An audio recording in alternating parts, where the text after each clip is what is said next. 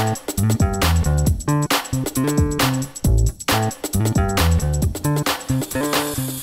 and welcome back to your property podcast. My name is Michelle Cairns, and with us today we have got Gillie Barlow. Hi, Gillie. Hi, Michelle. Wonderful to be with you today. Uh, absolute pleasure. What we're going to talk about. Oh, I am so excited about what we're going to talk about today. And I think, you know what? This is going to be a really, really important podcast for a lot of people to listen to. And the reason that we asked you to come on and speak to us today is because you have a great way about you of, of helping people get clear and uh, before we go into that, I, yeah, we'll get you to just introduce yourself uh, in just a second. We we knew each other from many years ago when you were actually my mentor for a year, and uh, during a a mastermind program I did, and so I've got personal knowledge of what you're like as a coach and a mentor, and and how you help me get clear on my goals and and inspire me. Really helped me with my own limiting beliefs. So uh, so that kind of it's great to kind of come full circle and have you back now and and see the difference in myself having gone through you know the uh, the many years of of investing and uh, and learning. So anyway enough about me. Uh, what about you? Just to give us a quick uh, couple of minutes about yourself and who you are. Okay so um, i was born into a family of four girls. I'm an identical twin. I was completely hopeless at school. Uh, unfortunately, we grew up believing that we were a bit of a waste of space. But in but but the bizarre thing was in inside of me, I knew that I would be okay. I had a mindset. I don't know where it came from, where I loved life, where I just literally um, was really excited about all sorts of things that were going to happen in the future. And um, I don't know where that came from. I'm very, very different to my identical twin but I always had a, a, a passion about life and people. And from a very early age, I I wanted to help people. And I uh, I remember one day being in the garden of my parents and and some people coming in and and it was a, a gentleman and his wife and and and he he was just under so much pressure to perform, to do extra work, to create more money, and and and there was that I just wanted, I knew that from then on, I wanted to make sure that I created something in advance of ever meeting anybody so that I would be able to take pressure off everybody and anybody in my world. And I feel very, very, for some reason, I had a passion to help people very young. At the age of 21, I went out to Africa where I ran safaris, which is what you do when you don't know what to do. I didn't, I mean, I was on a safari, helping on a safari company. And while I was out there, I had a dream about disabled children and mountain houses. And basically, two years later, I acquired my very first property, which is the one you can see behind me, which I still have today. And uh, a year later, I took my first group of disabled children out there. We set up, or I set up SADA, Sophia's Alpine Disabled Adventures. The chalet is called Sophia. And in 1996, we won the Childline Award for Great Britain, which was quite bizarre, amazing uh, an experience. I didn't even know what it was, to be perfectly honest. Um, and we went from strength to strength with the charity. It really helped children to believe in who they were, have confidence, disabled children, irrespective of their disability, if they could get to France. And we took children from the age of six to 18. And we carried on doing for people who can't uh, who are just listening to this and can't see the chalet in the background um it was one of you, you know your first deal that you did but you didn't have any knowledge of any you know traditional education property education. You, you know you hadn't really read any books on strategies or anything like that. So uh that was your first taste. I hadn't read any books so let's get that straight. No it was a very bizarre one. I the dream was very very um powerful for me and my attitude was in my naivety, I'm going to do it. The question is how. And it wasn't that I wanted to tread on people to get there. It wasn't that I was being, um, you know, selfish in any way. I had just made that decision that I was going to get it. I'd now got to work out how. There were no strategies being taught in 1987. There were no strategies being taught in 1989 when I acquired it. And it was, you know, in my view, I created the strategy, although it's been going on for years and years and years, but we've only worked that one out many, many years later. And it was really exciting. I I sort of imagined stepping stones across the river from one bank to another. And the amazing thing was, I never expected to get to the other side, but I never didn't expect to get to the other side. And from a very early age, I realized it was the journey. And on, on you know, sometimes I thought I was um, not going to be able to move forward because the stone was really sharp and pointy and I couldn't walk onto it and the door would open. And other times, the rocks were so flat that I nearly drowned from pride. And, you know, I realized each time that wherever I'd got to and I thought it was going to end, I'd learned so much, you know. But in that instance, I did get to the other side. But what I learned also is that you don't necessarily go in a straight line. You've got to be flexible and be willing to to deviate and move according to what happens. Because if you are dogmatic and you absolutely go, nope, I'm going to go this way and it's the only way. That's when you will tread on people. And it is when you'll end up with no friends and feeling completely unfulfilled and empty at the other side. So it was hmm. such mm. massive learning so early on in my in my world. Well, let's fast forward to today then. So you got your first chalet back in 1989, and but you've done many, many, many deals since then. So do you want to just give people a flavour of where your portfolio is now and what your experience is? Yeah, so I've got a, a, relatively large portfolio. I don't have hundreds and hundreds of houses. I've never wanted that. So I have fairly big deals. Uh, I love, you can see from the chalet, that was my first deal. It sleeps 12 people. Uh, well, sorry, it's got six bedrooms. So yeah, it sleeps 12 people. And I always, because of that, I suppose, I've always done big deals, uh, relatively big deals, not massive deals. Um, and so I don't need loads and loads of them. But every single one I've done has been a journey and everyone has been different. And because when I started, there weren't there wasn't any education. I I was very willing to have a bit of education, um, which I did, but I still found that I navigated and learned from experience rather than from what somebody had told me. Albeit it's really important to be taught and have the right knowledge as well. So, for instance, I ended up um, converting a pub into a guest house, which turned into SA, serviced accommodation. But nobody really was teaching serviced accommodation when I did that. I didn't even really, well, when I took on the pub, I didn't know what serviced accommodation was. It was a guest house, in my view. And so I learned in my first year, if I'd known what I know now in my first year, I would have either made more or saved £42,000 on one property.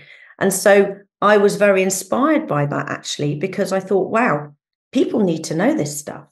They do.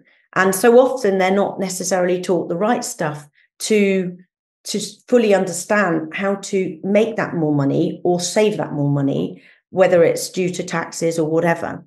And I was really encouraged in what I learned so that I could pay that forward and help people. So that was serviced accommodation. So I'd acquired it on an option, a purchase lease option, and I ran it as serviced accommodation. Uh, and so for every project I find I do or I've done, unless it's a repetitive uh, one that I'm repeating, I find so much learning in doing it myself um, that I then want to go on and teach people. I think a lot of the time people don't actually do what they teach. And it's so very important to do that because we make mistakes and we stop other people making those same mistakes. Yeah. And so out of your portfolio, because the chalet was also a purchase lease option, right? So how much of your portfolio has been acquired through PLOs? Uh, most of them. I, I, I would say because my portfolio is moving all the time, and I put in offers of five, five PLOs last week. So oh. I don't doubt that I'll get one. Um, so I'm only doing PLOs now. I've decided that. Um, before now, I was doing joint ventures. If I say that since 2000, sorry, since 1989 and 2024, I have never put money into a property at all, in except for uh, one in 2017 when I bought my only flat. Not quite sure why I did that, but anyway, and I put £38,000 into it. Before then, after then, I've never put money into a deal. So all the strategies I use are such that I don't put money in. Now, sometimes those are joint ventures whereby my JV partner will put the money in. It's just how I work because I suppose I had no money. I learned how to do it in ways whereby I don't use it. So I'd rather use my money to help other people than use it for my own projects because I know how to do it where I don't need it, if that makes sense. Yeah, it does. So you have had not just experience in building your own portfolio and uh, acquiring deals, working with joint ventures, etc., but you've had experience teaching other people, mentoring, coaching them, and seeing so many people come through uh, over the years and how the education property education world has changed as well that you know when you started as you said you knew of no strategies there was no formal education like there is today and fast forward to today, there are an abundance, so many, an overwhelming amount of information and strategies. So, what I'd like to talk about today is let's think about two different types of people. And the reason I'm asking this is because I get this at the question asked so much um, that at the moment we're working on how to help people through YPN and and what we do with YPN, a lot of people don't even know, is we have our training programs. We've got one on HMOs and service accommodation, development, interior design, uh, sourcing, etc. Um, but what we found was a lot of people came to us and they said, "Well, where do I start? If I is which strategy is right for me?" And I thought, "Wow, uh, we really need to help people at the very beginning and create some sort of roadmap for them so that they can, uh, you know, understand which one is right, which uh, which strategy is right for them." So so two types of people the first type of people who are brand new to property and they don't know what they don't know. So they don't know about all these strategies. They kind of got a feel for it, but they don't know where to start. So if we focus on them first, and then the second type of person is the person who has done some training.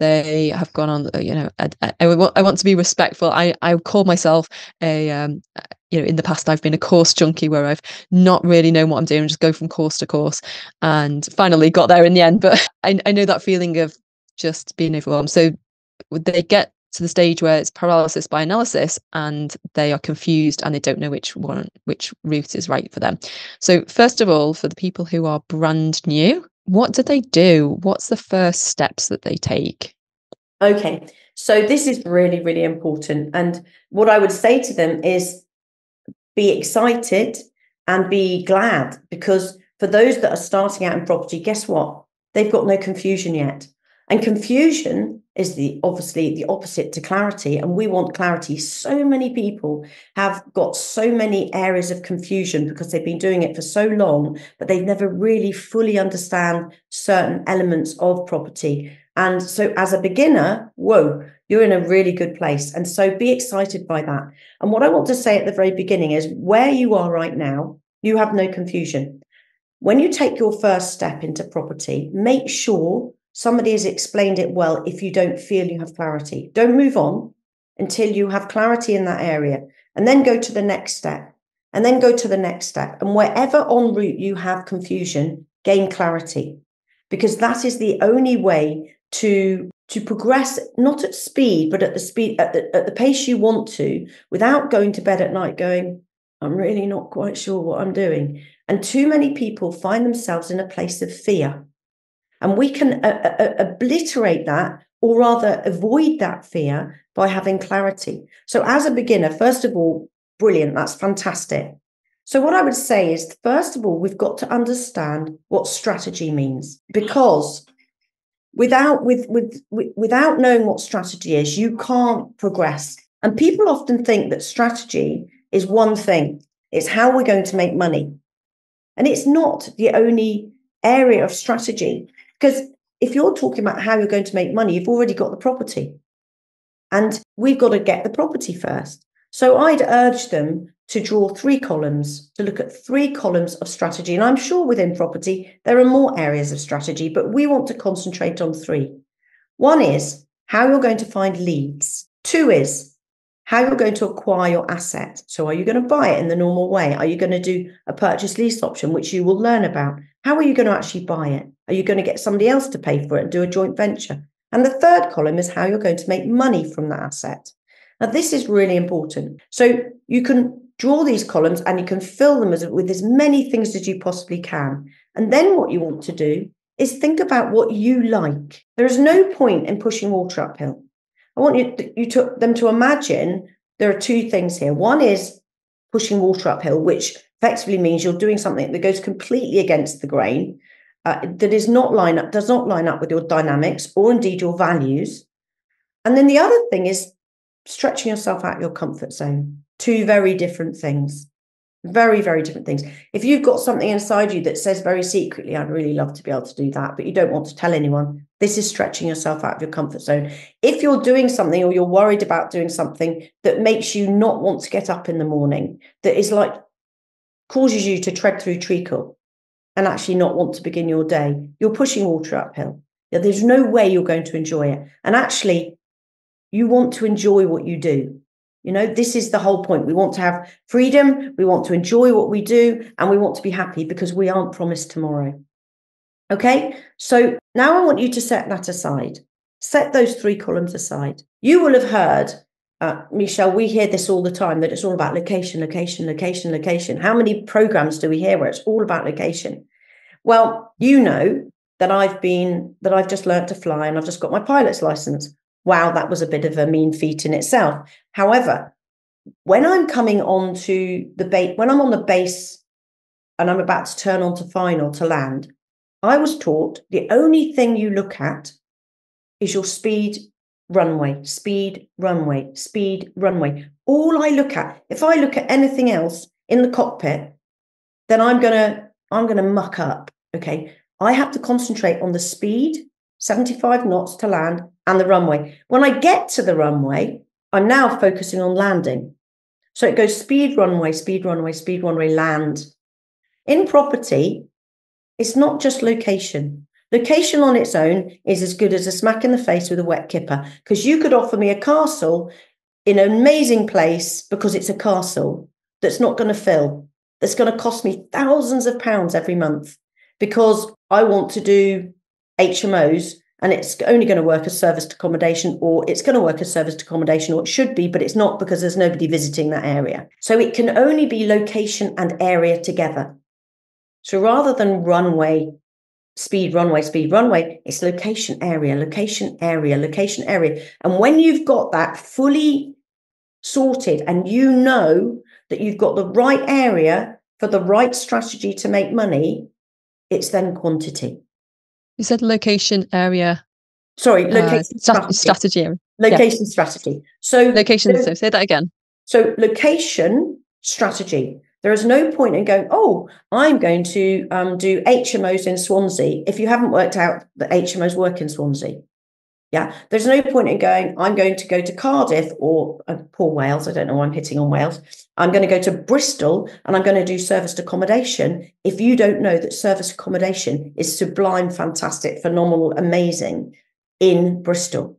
Okay. So there's no point in choosing an area without absolutely understanding that the strategy you want to use to make money, which is in your third column, is going to work in that area. All that happens is we end up putting a square peg in a round hole. Now, sometimes people do, they squeeze that square peg into a round hole, and months later, they're sitting there with their head in their hands going, Why did I do this deal? And you know what? Often it's because it's an option if they're doing an option and they found an option and they're so desperate to do an option that they do it even if it doesn't work. And so for beginners, I would say before you even go and look for a property. I say this so many times. Do you think people do it? No, they don't. So I urge you, before you go and look for a property, find your area that works amazingly with the way that you want to make money from property. So if it's service accommodation, maybe if you live in, I don't know, Brighton or Bristol or Oxford or whatever, put a pin in a map go an hour or whatever you decide is right, northeast, south, and west, to find an area that is unbelievable for the strategy that you want to start using to make money.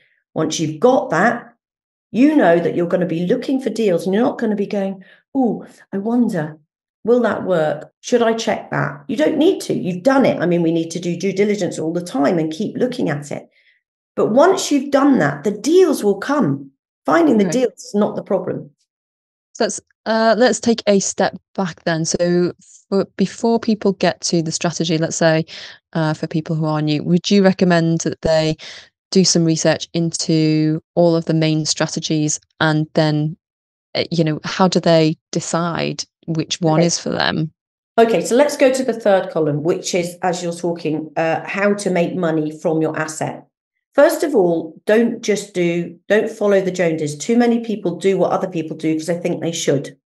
You do many people have a strategy they want to do. Now, I personally wouldn't do single lets and I wouldn't teach single lets because we want to make as much money from our money or from our investors' money than we can. And for those of you that don't understand, please don't worry. If you're a beginner, return on investment merely means how hard is your money working for you. So if I gave you £30,000, do you want to make 500 profit from that if you go and buy something, or do you want to make 6,000? So it's just about how hard money's working for you. If you do a single let, it won't be making, it won't be working very hard for you. Um, it will work harder for you if you buy it as an option, if you acquire it as an option. I don't want to confuse people, but you've got to be very aware of your your possible outcomes in terms of profits based on the strategy you decide to use to make money. So look down the column that you've done. So in that column, it might be single lets, it might be HMOs, it might be service accommodation, it might be full developments or flips. You know, it might be all sorts of different things, including um, freehold to leasehold, which is a second strategy on its own right before you start then doing SA, maybe. Um, so they need to look at what's in the column and by process of elimination, determine what what what there is to choose from because they might might say, "Oh, I'm not doing that." Definitely not doing that, or I'm definitely not doing that. I'll give you an example. If someone comes to me and says, I want to make £60,000, which they did once, uh, passive income a month, well, they're gonna they're gonna get rid of single lets, aren't they? They're going to get rid of small HMOs, aren't they? So what happens is they end up with a smaller list to choose from. And if mm. they're struggling to decide, that's a very clever way of doing it. But as I said, many people will have strategy that they already want to look at. And I wouldn't pick more than two. And one of them needs to be passive. And what I mean by passive is I used to think that meant quiet, but what I mean by passive is money coming in without necessarily having to do an awful lot to get it. So I like, I like recurring. So if you're recurring do, passive. Yeah. yeah. So if you're going to do flips or developments, that's not passive income, it's chunks of money. So I would say only pick two, and it's okay to pick one whilst you're doing your due diligence. Don't pick more than that because they'll be addled you do not want to confuse yourselves. The other two columns, pick as many as you like. But the third column, you need to be focused. And focus is something that's hard to do when you're learning new things. If you try to learn too much or take on too much, you'll end up grabbing at stars and not actually finding anything and focus because you're not focusing enough. So basically, what you're saying is think with the end in mind. So decide, first of all, what it is you want to achieve, how much money you need or want to aim for per month, and then work backwards. So, as you said, if you've got, uh, you know, sixty thousand or three thousand pounds a month, well, then you'll know that six single that's not going to be the strategy for you, and then how much time it's going to take to get to that. So the the more money that you make, then perhaps the less the fewer properties that you need yeah. Would you say that? So you have to go for bigger deals, but then I guess it depends on. There are so many. Uh, there's so much to, I mean, we could talk all day about this. So it's it's quite a challenging topic to distill into a podcast. So there are a few elements. So understanding their strategy is one of them. Understanding what they're looking to achieve, and then looking at the resources they've got, whether that's time, funds, contacts, experience, whatever that is. So how does the how do their resources play into the strategy that they choose? Okay so just a very quick summary. They want to choose their area together with their strategy first. Okay that's really really important. Then as you said they want to look at their goal. So let's pretend it's 5000 pounds. They want to find they, they want 5000 pounds at the end of the year to be coming in every month. As you said and as steve covey says very well we want to start with the end in mind so I would suggest they have their little horizontal line with 5,000 at one end and now at the other. And in the middle, we want to break it down because 5,000 seems an awful lot of money. But to start with, we want to look at what they want as a minimum profit and still be happy for any one deal a month. So if I said to you, Michelle, what's the minimum profit you want from any one property? You might say a thousand pounds. Okay. I'm just using that as an example. Sorry, I did a little bit of a role play on my own then. But let's say you said a thousand pounds. Yeah. Somebody else might say 500. If they say less than that, I'd ask them to go and think about it very seriously. But if it was a thousand pounds and they want five at the end of the month, we know straight away that the maximum number of houses they've got to find to hit their goal in a whole year is five. Five thousand pounds, one thousand as a minimum. Now, obviously, the reason I say a maximum of five is we've agreed that that thousand is a minimum and be happy. So you're going to have some that might be 1200 that come in or 1500. So we know the maximum. And the reason it is five and the reason it's really good to look at that at the very beginning is because it gives clarity. So right now we know we've got to find our area in our strategy that we know works really well. We also know that we've got a maximum of five houses to find and we've got a whole year to do it. So we're going to write this little, have this little horizontal line with 5,000 at one end, now at the other. Every three months, we're going to put a socking great big telegraph post. And between the telegraph posts, we're going to have two fence posts. And these break down our tasks and our targets. Now, you might put at month six, three properties. You might put at month one, no properties, but a load of tasks that need to be done in order to hopefully get a property in maybe month two. Now, this is all fickle. And what I mean by that is property is fickle. You cannot guarantee, however hard you work, to get three at month six, because you might have five fall out of bed all at once. So, what we want to do is want to make sure that we work backwards and aim for uh, and know that we're on target. And I'll tell you what I mean by that in a minute, and that we work forwards. Now, what I mean by work backwards is if somebody came to me and said, Gillie, I've looked, I'm not a builder. And I, if, if I'm doing a works on a place and the builder comes to me and says it's going to take 12 weeks, I want to know it's going to take 12 weeks. So I will say to them, in order for it to hit the 12 week mark, where will we be at week 11? Where will we be at 10 week 10 to be correct at week 11 week 9 to be correct at 10 8 at 9 7 at 8 etc etc so at the end of week 1 i know where we need to be. Now obviously that's not going to happen if it's a year's project but first of all the builder would shoot me before they began. But it's having an idea where you need to be in order to get to where you want to in advance. And that's what we need to do but we also need to work forwards. Now the way that one thing to do to start is to look at all the things you can't control. So we can't, we write a little list underneath that line. One is we can't control being gazumped by agents. We can't control investors pulling out. We can't control solicitors being slow. And we write a list of all the things we can't control. But the really exciting thing, apart from one, is that most of those things we can hope won't happen if we build good relationship.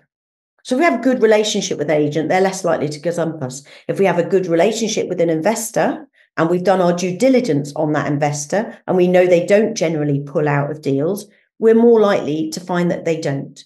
The one thing we can't control, sadly, is banks. And so we might find that a property comes in un- and is valued under that that we're buying it for if we're doing a normal purchase and, and, and we don't get our loan to value. But we have to put a list of all these things at the bottom. Why? Because otherwise they'll end up, you know, being cruel to themselves. You know, I can't do it. I, this always goes wrong. You, the point is, we've got to be busy doing the right things. There are many people in our world, in our society, and in our lives who are very busy. I mean, we are a frenetic world. Certainly, our society is. But let's be busy doing the right things. And the reason we want that list of things that we can't control at the bottom is because even if you do the right things, it won't always go right. It won't all you won't always get the results because property is fickle. Okay, so that's what I would do. I would look at so, our results and then we want to break down the activities and the tasks so that we know what we're doing is conducive to our end result. Well, this is really interesting because I distinctly remember this conversation that I had with you uh, at the very beginning when we worked together. And I remember you said to me, right, what, what's your goal? And I was thinking, and I sort of nervously said, well, uh, you know, 5,000 a month would be incredible, uh, but I'm not really sure how I could do that. And you said, well, if you aim for 3000 then and you don't get it then you're going to be on 2000 right? But if you aim for 5000 then you're more likely to hit 3000 so if you're more comfortable with 3000 aim for 5 and i thought okay all right then we'll we'll do that. I'll have 3000 as a more comfortable target but ideally aim for 5 and i remember you saying about these telegraph poles of uh, were that you know where I needed to have these milestones along the journey along the year. Now, at the time, I had no clue how I was going to get to the three thousand, and I thought uh, this it's all very fuzzy in my brain. I thought, well, I understand it's possible because I've heard the stories and I've seen other people do it, but I don't know how I'm going to do it. Now, I ended up smashing that in the first year, as you know, but um, but I think what's really helpful for me was to actually not even focus on the 3000 or the 5000 like okay have it there as as what you're aiming towards but as you said you're not focusing on the results you're focusing on the activities and the tasks that you're doing every day so focusing on the execution not oh how many deals have i got or what's the solicitor doing so so for people who who have that in mind and they can they've got their goal what are the activities or tasks that they should be focusing on at the beginning of okay. their journey? So then we go back to the three columns. So if I was um, mentoring or coaching or, or, or doing a program, and I'd been with people in a room, and I said, right, this is what you need to do this month. If you want to hit that little fence post, the first fence post, you've just got to sort your head out and you've got to sort out what you want to do. So the very first things they do is they do their their goals. So they've got their 5000, we'll call it 5000. They know they want to do it. They've got their telegraph post. In that first month, they need to look at their three columns, fill those three columns out with as many things as they can think of, not just the ones they want to do. We want to fill them. And then they need to tick the ones they like. Okay, this is really important. And this is the same for many, many other people. It'll be what I say for those that are in overwhelm. Go back to your three columns, which many people won't have ever done. Okay. And look at what you enjoy. So for me in the first column, you know, I'll give some examples HMO letters, solicitors, networking, postcards, leaflets, adverts, Rightmove, etc., etc., walking the streets, all these different um, ways of finding leads. Now, you'll never find me doing leafleting. There's nothing wrong with leafleting, but it doesn't line up with me. And so I would do, I remember being told, design your leaflet. So I did after three months and copied somebody else's. Doesn't matter, does it? But did I ever print it? You've got to be joking because that would mean using them. Now, there are many people that do leafleting and they get on really well with it. Okay, there's nothing wrong with it. It's about what lines up with your values. So I tell people to do their values. If they don't know what that means, DM me because it's really important to do your values. When somebody asks me, I haven't got a clue what they're talking about. So I wouldn't do leafleting. There are other ones like the postcards, leafleting, postcards, leafleting, adverts, HMO letters, networking. They're all good lead. They're all good ways of finding leads, aren't they? But there's one mm. thing wrong with them. The one thing wrong with them is you're not in control of anything that comes in. You're you're waiting. You're waiting. So I say tick everything that you want on that list. There's nothing wrong with them. And if you do leafleting, make sure it's done every six weeks. You know, make sure, sorry, that it's done every week, but you're you're you get back to the same area every six weeks. It's got to be, it's got to be constant. There's no point in going, oh, I did it for two weeks. You've got to have that rolling in the background. If you're doing HMO letters, maybe send them out every couple of weeks, but you've got to be keeping this going and deem them all as a bonus. If you want to find 10 leads a week that are potentially going to work for you, you've got to have a way of getting those leads and being in control of getting those leads. And so you've got to work out ways of doing that. You may walk around the streets where you know there are loads and loads of houses with several for sale signs outside them, etc., etc. Or you may go to agents. A lot of people are scared of using agents. I have a specific way of using uh, Google Online, but there are many ways of finding leads through the internet that you can control every single week. Okay. But in that first column, tick the things you like. Don't tick the things you don't because they won't get you anywhere. In the second column, most people will go, you know, for those that don't have money, well, what am I going to be able to do? Well, actually. So just a reminder so the first column is how you are getting the leads, and the yep. second column the second is how, how you're going to acquire. Yeah, how you're going to acquire. And notice I say acquire, not buy. Okay, it's really important when you're writing HMO letters, when you're doing all sorts of different things. The word acquire is a far better word because it gives you a broad spectrum of different strategy. So, in that column, you would have normal purchase, not on my watch. Um, you'd have purchase lease options and purchase options, which are different. You'd have rent to rents. you might have uh, delayed um, completions, you might have joint ventures, you might have deferred considerations, you might have all sorts of different things. Okay. And for the most part, people can actually tick pretty much every single one other than a purchase if they've got no purchase on their own if they've got no money okay so don't believe for one minute that if you're short of money you can't do an awful lot of there are many ways of acquiring deals so you can pick as many of those as you want then in the third column which is strategy on how to make money from the asset that you've just acquired again i would say pick two as a maximum, making sure one is passive. So at the very beginning of your journey, this is what you need to do. Because you know what? You've now got clarity.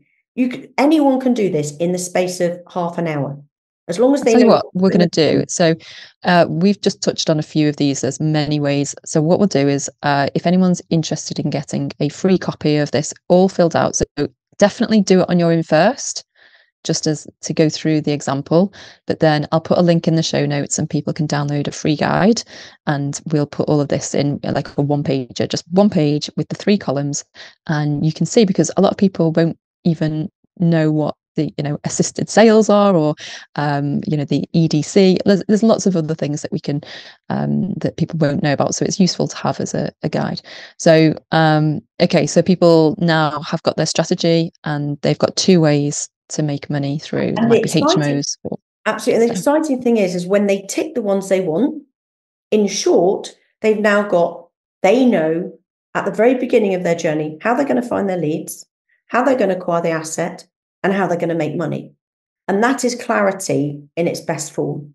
And if you can start your journey with those three things and know them and stick to them, it doesn't mean you can't move the boundaries or change things if you decide you don't like one of the strategies you've picked. But if you start with that, you are prepared. The next thing they need to prepare is their heads. And that's a hard one because a lot of people, you know, there's a lot of knowledge out there. Knowledge is not difficult to find. How it's relay, uh, you know, how people share that knowledge is really important because it can be very complicated or it can be simple. Property is simple. And if, you know, we're getting on to those that are feeling an overwhelm in a minute, but if people are confused, it's because they it's either been explained badly so you can shoot me, or it's because you know they they've got so confused that it's just a it's just you know getting more and more confusing for them but property is simple. And this is many of the time the, the reason people can't create, use that knowledge to then get to their goal is their heads. And we are all unique. I'm an identical twin, so I'm the least unique on the on the planet, but I am really, really unique. Sarah and I like chalk and cheese in many, many ways. So, how we learn and retain knowledge. So, I I retain stuff about property like it it was my breath. I mean, I, I, I just find it very, very. I don't know why, but I want to learn languages, and I really find it hard to retain languages. We're all different, you know, and so it's never about someone being hopeless, but we've got to look individual minds and see what's causing them to not understand, retain, or believe in themselves. And so you know, I believe it's really important to look at. And so I always say to people, go away and write down on a day where you're feeling a little bit glum. So don't do it when you're on, in high spirits. All the reasons you believe you can't you can't succeed. This is really important. And I know it seems negative, but it's about the individual. Why, why do they think, you know, in that, that little voice in the back of their head that's saying, you'll never do this? That little voice in their head that's going, well, you might, but you never hit that goal. Or the voice that says, mm, is it uh, the skeptical voice that says purchase lease options must be, you know, bad because they're, you know, it's too good to be true.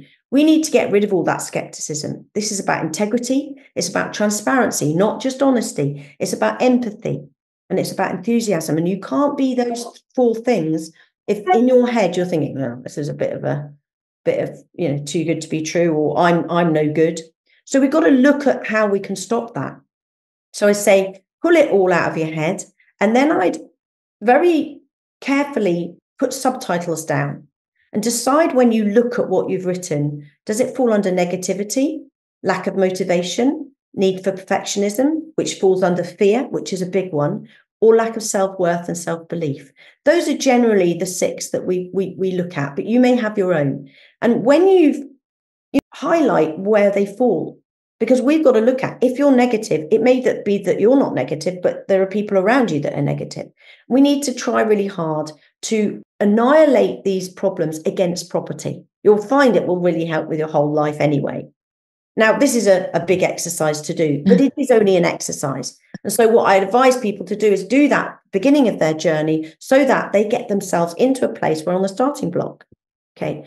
And then they will find that the knowledge is far easier to turn to turn in, you know, action is far easier to take based on their own mind because they've got the knowledge.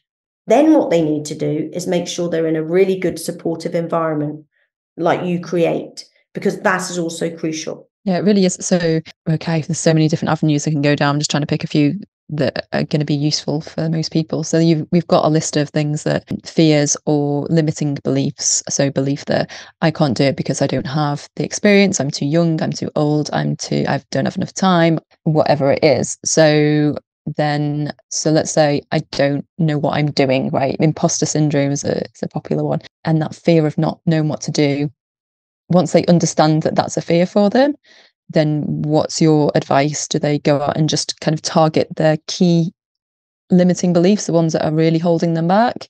And how do they how do they get over it or, or work through it? Well, if it's just that they don't know what to do, um, it, imposter syndrome is slightly different. If they don't know what to do, uh, then it's about structuring their time and and really it's about being in groups whatsapp groups groups that you create etc where they can say where do i start? So we've already looked at two major points of where they start. If in the mindset they are saying i don't know what to do they're sort of not listening because we've told them what to do. But if it's that they're scared and there's fear we've got to look at what that fear is. So many people are scared of failure okay? Many people are scared of success which we which those that are scared of failure can't imagine that you'd be scared of success but there are people. Many people are scared of losing their money. Many people are scared of losing someone else's money. And there are many many fears. So we've got to take those fears and say good come on then let's have a look at this. Scared being scared of failure will probably relate to feeling they failed in the past or um, being told that they're no good, or it, would be words spoken over them. And one of the really powerful things to do is remember and write down all these negative thoughts where they've come, not where they've come from, but what they are, and write down the opposite. So it's really important to have affirmations. So I, I used to think, oh my gosh, I've got to read those every day. But I tell you what, it's really important. I'm going to give you a really bizarre story. So many years ago, with regard to the chalet, I had a dream, didn't I, in Africa? Well, the two years later, when I was in the French ski resort, I ended up going to an, an estate agent. And I said for many, many years that I had a, the dream a second time. And I went into the estate agent. I don't think I had a dream. I think it was a good story that I said for many years. I had a very good reason to go into an estate agent because of an event that happened on the mountains, and I decided not to go back up. I'm being completely honest here. But you know what? The reason I started to believe I'd had that dream a second time, and I may have done, but I don't think I did, was because I said it so many times, you know? And we, the more we say things, the more we believe them. It is so true. So it's really important that they write down affirmations, but they're not going to write those down until they realize what they have believed for so long, write it down and then write the opposite of that. Yeah. So if they believe they're hopeless, they're going to say they're amazing. If they believe that because they've not achieved before and they're likely to fail again, they need to write down that they're going to succeed. You know, they need to start writing. It's very, it's very, they're little exercises. They're little exercises. That's all they are. But they're so powerful if they're done. If they're scared of losing their money, don't use it. I love that one. You know, it's simple.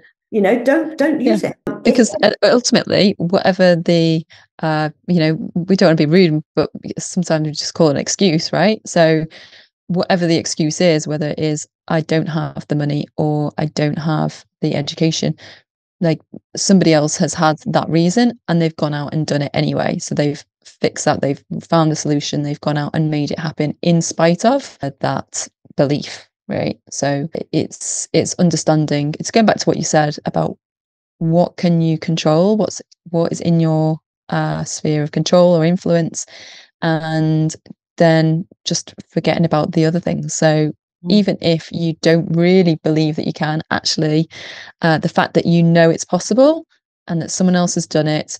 So if it's i i don't understand what to do okay well i can go out and i can learn. I can find there's plenty of free resources plenty of ways that I can learn and get myself going and get myself give myself the momentum to you know to get on the journey and get and keep going it is absolutely self-belief when i started off in property i had i uh, you know i was working in a fish farm gutting fish I'd come out of school at 16. I got C O level in music and everything else was unqualified. Not proud of it. But the point is, I had no money when I got that chalet that, that you can see, I'm not sure if the others will be able to see it when the podcast is on. I I couldn't afford the door of a car. And the thing, the thing is, is that a lot of people in situations where they don't only don't have money, but they don't have support. I had no support. Support, uh, you know, all the way through for many, many, many years, there was no support in in my own circle. That's why you have to go and find support and be in environments that are really good. But it is all about self belief. And the reason I mentioned as well the flying, not only because I wanted to talk about the runway and the speed, etc., regarding uh, area and strategy, but also, you know, I believe I'm severely dyslexic and dyspraxic. Going, uh, the last exams I did was when I was 16 on my O levels, shows my age. And so to go and do exams to to to fly an aeroplane was beyond my comprehension but I was not going to quit. And if if I can do that and get my head around that, honestly, you guys out there can do property, but you've got to decide that you're going to. And I explain, you know how I said earlier uh, when I first got the chalet, said I'm going to do it. The question is how. I want you to imagine a really steep mountain. The I'm going to do it is when you're at the top because too many people are going, Can I? Will, will, will I succeed? Will I do it? Mm, I, I won't manage that. When you get to the top of saying, I'm going to do it, the question is how is the exciting part because that's the creative bit. That's the bit where we do look at strategy and we do look at what rocks your boat, what makes you feel excited. We do look at how it might work and how you can work out your area versus your your your strategy to make money. But that I'm going to do it is the steep climb. And that's because the I'm going to do it is the mindset. When mm. you get to a point of saying, I'm going to do it, the, the rest, you know, the rest is in in a way a downhill run or walk or ride. It's I think it's coming back to what you were saying about everyone's unique and everyone's got their own way of learning, their own way of, you know, just uh, how they operate, I guess, their own values, as you said. And I think some people they like the idea of like that big goal, you know, the 5K a month or 10K a month or 60K a month or whatever it is. And that's something that motivates them and they'll find a way. For other people, it might be uh, I'm I'm this person where I just need to know what the next two steps are and then the next two steps and then the next two steps so i it kind of scares me that those big goals because i'm thinking oh I, i'm not sure if i i can do that right i think i've got something in me that's like I know it's possible because I've seen other people do it. So that's something that's really helpful for me. So that I kind of keep that in my mind of like it's possible i've just got to do the right things so um so that's important but you know some people just get lost don't they because they are doing the wrong uh they, they kind of have got the wrong strategy for motivating themselves and or they don't have a big enough reason why so maybe they're you know they're too kind of comfortable where they're at and for me, it was, you know, when I kind of made the big change in, in my property journey, I was really struggling with, I was teaching full time and I felt really trapped in my job. I didn't know how to get out. And I just thought, I've got to make this work one way or another because I can't carry on until I'm 68 teaching. I've got to get out. I've got to get out now. And I, and how do I make that work? And so I did everything that I could think of. Anyone, you know, I, I, I put complete trust in the process. So I, you know, worked with people like yourself and I just had to believe that it was possible and do the next thing. So taking massive action on doing the right thing. And other people are different, right? Other people, you know, uh, they they're more motivated by the big goal or whatever that is. So uh, understanding how you're motivated, I think is really important as well. And understanding if you're not motivated. So you you know we talked I talked earlier about um, the reasons why uh, people can't do it and they need to put them under sub subtitles really subheadings.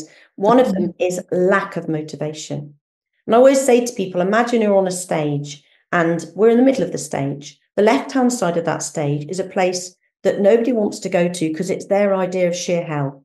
And although this sounds negative, if you haven't been there, you don't imagine it. So you imagine you're going, you're, you know, you're never going to die, you're never going to get sick, nobody you love is ever going to get sick, you're never going to have a financial issue, etc. And we have to imagine that in order to push towards the right, which is our financial freedom, social freedom, emotional freedom, whatever freedom it is that people want. Okay. And now what happens is a lot of people get to the left and they catapult to the right or they sink with the ship. What I mean by that is it, means that they they just accept life as mediocre. This is my lot in life. And you know, people should never ever just go, well, you know, I'm me. And, and they become a victim where they go, this is just typical, typical that it happens to me. And we've got to get out of that victim mode. So they either become victims or they just quit. They give up and they go, This is my lot in life. And I will just accept that. It's too hard. I can't do it. Yeah, absolutely. Now, other people are moving towards the right, which is great. But one thing that that, that, that I said at the beginning then was that we're in the middle. We're never in the middle because one thing we're never going to get back is time. So for every day that goes past whether we've whether we're not going to be here in two days or whether we're not going to be here in 50 days our days are are are, are going down in in those that we have left. So we can't control time. We can't make it stand still. So they're either going to the left or they go to the right now when people listen to the podcast and and, and get involved in good in, in, in good environments, they are already going to the right. Does that mm. mean that they won't take three steps forward and find that they're going four steps back if they're not doing the right things and they're being busy doing the wrong things? Of course not. But they're trying. Now, we want to be in a situation where we can see people and people can see for themselves that the efforts they're making are actually getting them further towards the right than taking a lot longer and going backwards and then a bit further forwards and then backwards, or indeed going to the left. So, in order to not go to the left, we've got to be very careful who we listen to. But one of the mm-hmm. things that that stops people from succeeding more than anything else is lack of perseverance. You see, they'll go, Well, I tried for two weeks. You, you can't try for two weeks. Two weeks, you know, and I go back to the same old, same old, which is probably boring to the ear. Edison may have taken a thousand attempts or 10,000 attempts. But do you think he found it hard on the way? We don't remember that. We don't remember the sacrifices or even know of them. We don't know how many times he had a meltdown, but he never quit. We look at Tom, what's his name? Carrey, Jim Carrey. He was homeless, completely homeless. We don't know how long he was homeless or indeed what he went through on the streets, but he wrote himself a check that was fake and said, I'm not ripping this up until the day I get the check with this amount on it. And he was determined. How many people do you think passed him by in the streets? How many people decided he was scum? We don't know what he went through. Agatha Christie, 70 million novels sold, and she was severely dyslexic. But the point is, what makes us different that we shouldn't push on? And I, I find people go, Well, I tried for two weeks, Gillie, and I, you know, I got 10 leads in for two weeks and I still didn't get an option. Two weeks? Well, that's as long as a holiday, you know, come on. And resilience and perseverance are monumental in the terms yes. in, in the world of property, probably business as a whole, but certainly on your property journey. You've got to be resilient and persistent. You've got and to be yes. consistent. I think that comes back to what you were saying about the things that you can't control. I think once you understand that solicitors are going to be slow and tenants aren't going to pay sometimes, and these things are going to happen. They're not, they're outside of your control. And then you can expect them to happen. And if they don't, great. But also, when they do happen, then you're like, oh, okay, this is the part where the solicitor is low. I just have to deal with it and I have to build that time into the deal.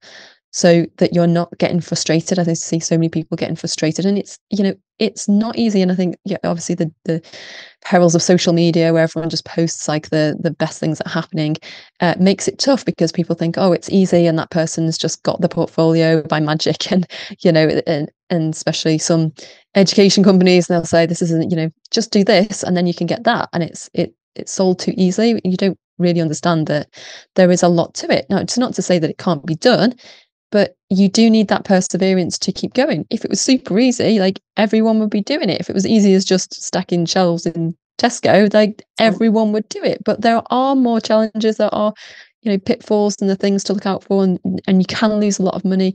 Uh, you can make a lot of money as well. So there's there's a lot more to it. But as you as you say there, having the persistence, and I think it's so important at the very beginning of the journey because at the very beginning you don't have the results. It's like great once you get your first deal. And i remember thinking the first rent to rent deal that i had and i was like oh i just need this first one. I just need this first one because then it'll be real and then i'll understand that it's possible.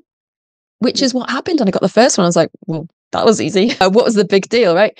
But but before then you have to have that resilience to get to that stage. Because once you get to that stage you've got the momentum right? And you've got the belief and the proof of concept that it works.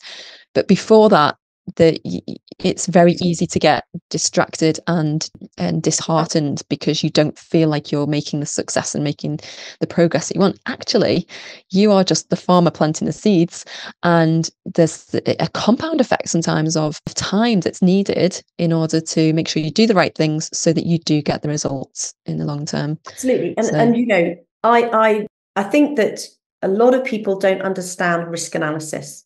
And I don't want to overcomplicate things now because risk analysis, oh my word, believe you me, in the world of Gillie, it all has to be simple. It's so simple and it's not the same as due diligence. And I always say we've got to prepare for the worst and hope for the best. And it's the same in everything. So as yeah. long as you prepare in your head that these people might let you down, etc., etc., and the deals may fall out of bed, but hope for the best. Hope is a great thing. We we do the right stuff to give ourselves every opportunity, but it's certainly in the mind. And when people make effort for a certain amount of time and then give up, they don't realize that this is not about a fish on a plate. It's not served for you. It's about having the stamina. It's about having that resilience and saying, do you know what? I understand it might take a long time. So my middle boy, he was 16 working in Marks and Spencer's and I used to say to him, tell him what you do. He was um, at college doing music. So in part time, he was doing Marks and Spencer. And he told this young lass who he was helping to shop because she was disabled, you know, uh, uh, about what he did. And she said, please buy my house. My, my uh, landlord's just put it on the market. I've been there for 16 years. And so he asked for the details of the landlord. And that was his first option. Now, I can say it like it was a, a doddle. It took seven months because his solicitor didn't understand options. But the point is, Josh pushed on and pushed on and pushed on and pushed on.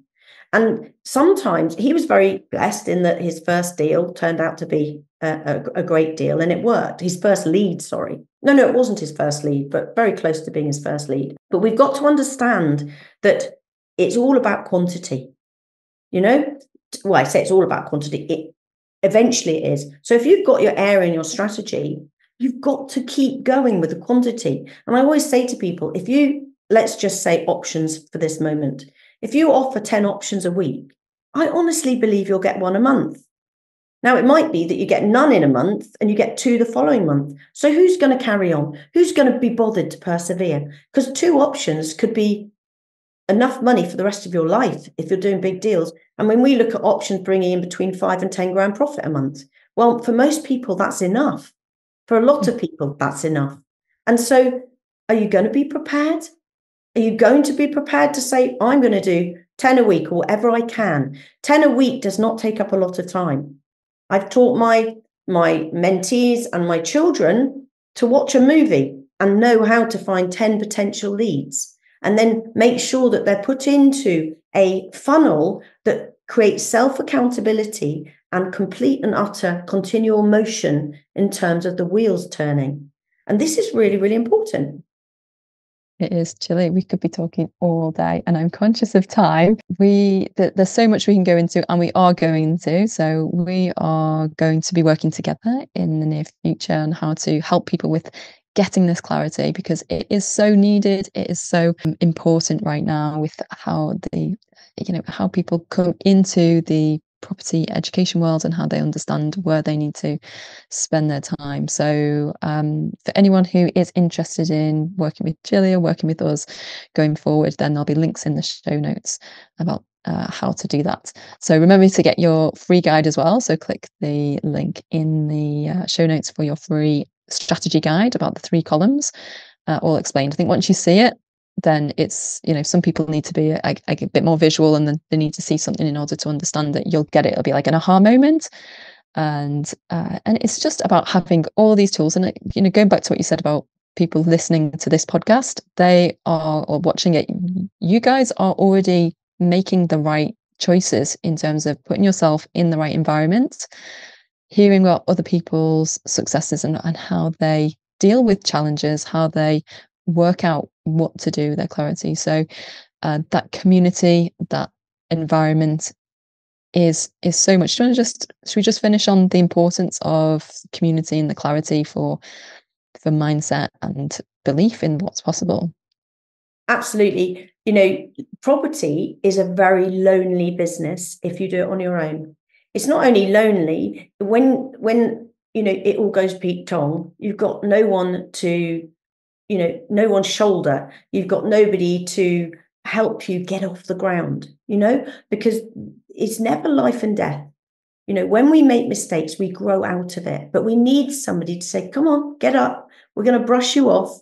You're going to learn from it. You're going to grow out of it. You're going to help people through it because you've been through it you know our hope is that when you join environments that are good that are honest that are transparent, that have empathy, that want to show you how to do it, and in many, many times handhold you, give you the answers that you so badly want. When you find yourself in that place and we're able to pick you up and brush you off, it's so much better than being on your own when you're facing it. But the other thing is, it's about sharing the the rewards. It's about the joy. It's about share, you know, celebrating.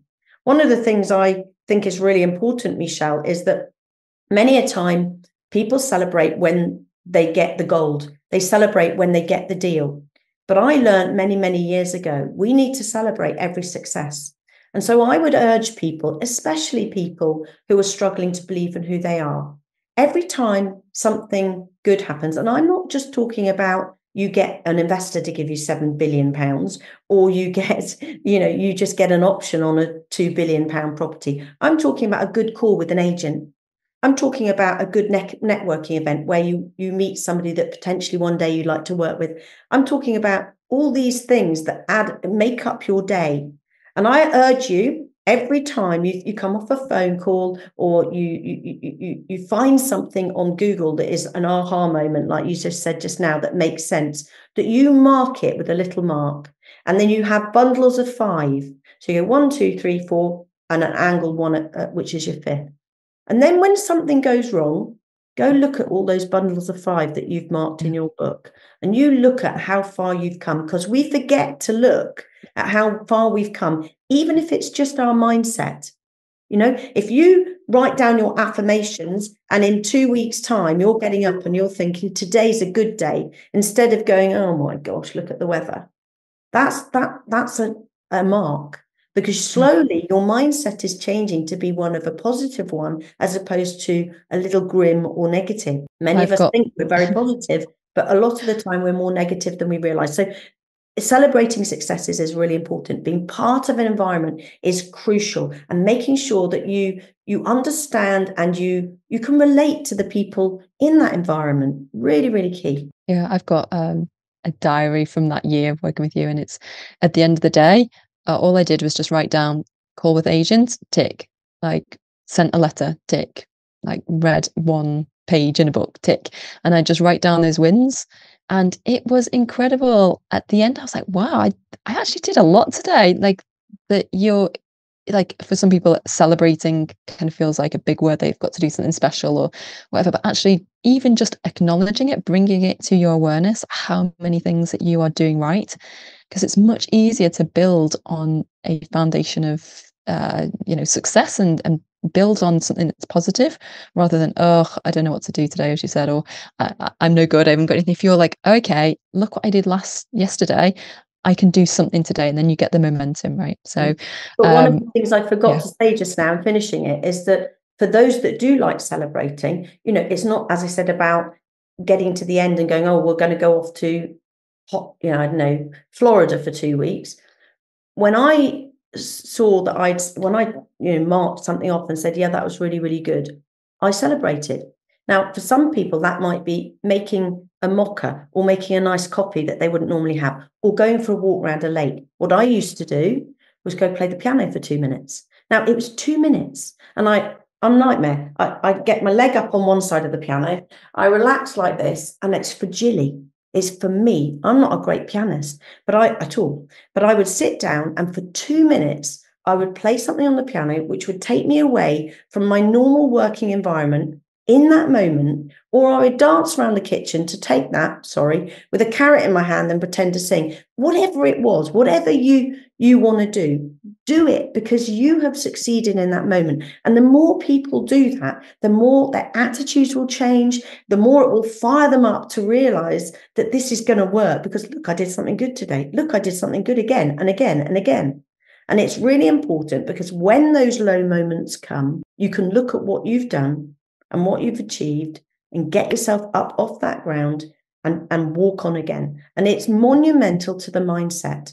We need to do that from the beginning of our our journeys, or if we're in the middle of it, we need to start doing it because that's helping ourselves. It's no different than saying in the aeroplane, you put your oxygen mask on first. This is about you. It's about your world. It's about your achievements. It's about how you feel at the end of it, irrespective of who it's for in the long run financially. It's about you first. Well, Gillie, I think everyone who's listening and watching just like can feel your passion. They can hear it in your voice. They can see it, and it's uh, it's infectious you know, I hope that everyone who's listening today and you've got to the end of this podcast, that you are feeling even better or better, that you're feeling inspired, that you're feeling like, oh, you've, you know, been reminded perhaps of something you've forgotten or you've got fresh ideas on how to move forward and being inspired to take some action today on the things that you can control and just leave the things that you can't. You're too busy to you know you've got you've got too many things to do to be worrying about the things that you can't control. Just focus on what you can control take some action and just keep moving forward. And if you keep doing that things will happen. You you keep adjusting on the way, making sure you're on the right path and making sure you you're taking action on the right things, of course. But that will give you the momentum and that will keep you going. So, uh, on that note, Gillie, thank you so much for your time today. It's been an absolute pleasure as always. And as we said, we could talk for days on this, but we probably will one day. Probably. Yeah. So uh, thank you, thank you, and thanks for everyone who's listening to us today. And uh, as we said, get your free guide, uh, get in touch. We aren't quite ready to launch what we um, the program yet, but if you want to register your interest and be on the waiting list, then just click the link in there as well.